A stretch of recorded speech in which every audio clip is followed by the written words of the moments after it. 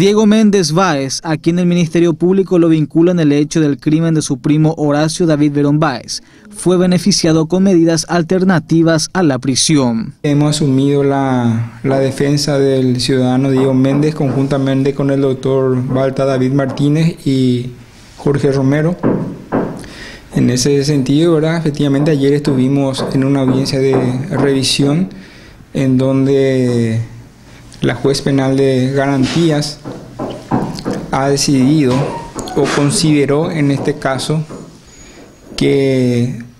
debían hacerse una revisión de la prisión preventiva que está pesando sobre mi representado y en ese sentido consideró también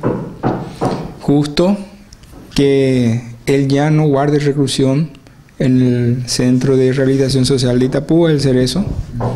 y por tanto fue beneficiado con las medidas menos gravosas, en este caso, a, a, la prisión preventiva. Tenemos que tener en cuenta también inicialmente que estamos ante un hecho sumamente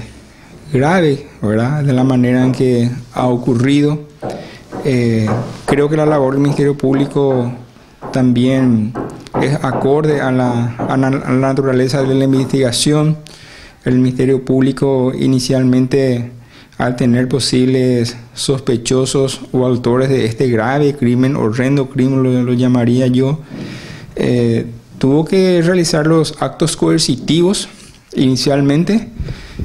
para ir después investigando y recolectando elementos probatorios. Hoy estamos más del 50% ya del plazo de investigación que había requerido la, el Ministerio Público y en ese sentido sí el Ministerio Público creo yo considero que está haciendo una muy buena labor en el sentido que ha recolectado numerosos elementos probatorios ya a la, a la investigación y que justamente eso también facilita a, a nuestra defensa, a ejercer correctamente nuestra defensa en el sentido de que van apareciendo varios elementos probatorios y que valorados por nuestra parte, considerados y concatenados unos con otros, eh, a nuestro parecer hacen que desvirtúan totalmente o por lo menos atenuan ya la participación de nuestro representado en el, en el hecho que nos ocupa. Nosotros eh, consideramos en forma eh, clara y sostenemos de forma clara y categórica que Diego Méndez no es eh, cómplice en este hecho macabro, horrendo que ha ocurrido acá, que realmente tuvo una mentada connotación, digamos, inclusive no solamente a nivel acá local, sino departamental y nacional. Méndez está obligado a someterse a la vigilancia aleatoria de la comisaría jurisdiccional de su domicilio, la prohibición de salir y cambiar de residencia, salir del país sin autorización expresa del juzgado y la prohibición de comunicarse con familiares de la víctima.